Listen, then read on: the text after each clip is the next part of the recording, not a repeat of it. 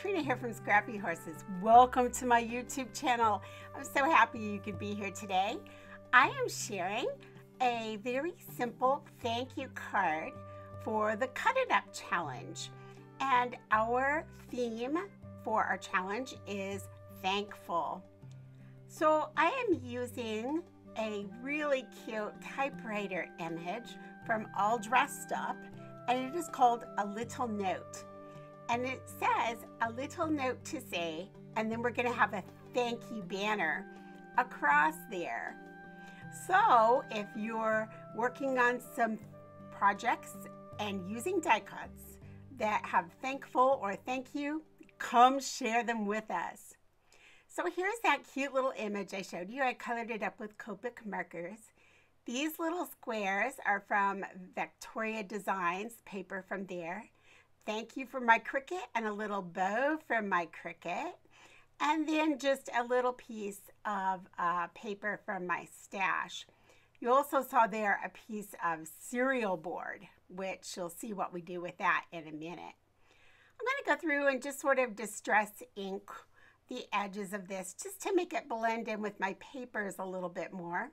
Bringing in a little darker color of brown, which is a cashmere. And I'm going to go around a little bit closer to the edge. And then I'm really going to stay close to the edge with this dark chocolate ink. So the lighter the color, the closer into the image I came with that. Just took away that white since nothing else on my card is white. All right, I'm going to go ahead and ink up the edges of this paper. Again, it's from Victoria Designs. I will link it below. I'm also going to ink up that little bow that you saw. Now, I've already attached this dictionary paper. I've attached the typewriter and the little squares to some backing paper. Now I'm going to take the little bow that I've already inked and I'm going to assemble it just using a little bit of Zig two-way glue.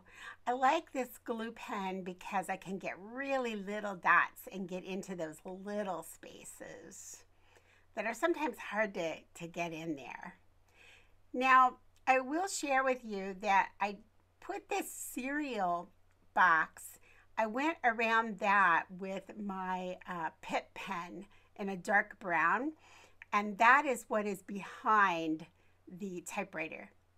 Now, I was pointing out that little kitty because I wanted him to show because the recipient of this card has cats and likes cats. So I wanted to make sure that the cat showed on the top. I uh, manipulated this paper in Design Space to be sure that that kitty was going to show also. So I'm taking a little bit of my ATG. I'm going over the ATG with my Fabri-Tac. I do this because I like a little bit of wiggle room. And the tape really holds. I mean, you get it on there and it sticks, and sometimes it's hard to move around. All right, so I'm wiping away my table a little bit because I'm putting my image down. I want to make sure there's nothing there to get on my image. And you can see that this is a cereal box, okay, that I'm using just to lift this up off the page a little bit. So again, I just used a little bit of my ATG and Fabri-Tac. And now I've got wiggle room if I want to move that around. I'm going to lay this in at an angle over my two squares, making sure Kitty shows. I want to make sure Kitty shows there. All right, I'm going to bring this banner in. I printed this and cut it on my Cricut, printed it in Design Space. And I'm going to cut a little bit of cereal box, again, just to give it a little bit of dimension off of the card. Now, I'm only putting it on this bottom part, and I sort of got it off camera there. I'm sorry, but you're going to see in just a minute what I'm doing. I'm only applying this cereal box to the edge, the end, the right end of the banner, because the left end is up on top of the typewriter. and the right end is on actually the card. So this just pops it up enough to keep it even. And you'll see that when I push it up. I hope I push it up here in a minute. We'll hope I do. There we go, a little bit for you. So you can see how that worked. So the cereal box part was just under that bottom right hand section. I'm to come in and do a little bit of glue here, a little bit of Fabri-Tac. I'm only gluing the bottom part and I'm just to let the top part sort of hang off and give it some dimension there. Got a little splurge of glue. I just wipe that off with a little paper towel and that's taken care of. I'm going to put a little brown gem into this little bow. As you know, watching my videos, when the gems come out, we're pretty close to the end of the video. But wait, I just noticed this little splotch on my card right there. Okay, I'm going to bring in an eraser.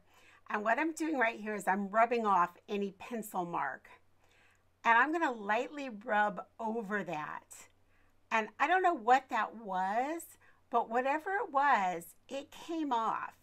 So I recommend trying that before, you know, if you don't want another embellishment to cover something up. Sometimes if you bring out this kind of eraser, they're the kind of gummy kind, you can sort of come in and fix something. And then because it took away a little bit of my ink actually, I just put that back with my sponge and now you can't tell anything happened. So there's a tip for you, a quick tip there for a quick fix. All right, now we're at the end of the video. Hey, any questions or comments? Leave them below and I'll leave you what you need in that box also. And I'll catch up with you in the next video. Bye.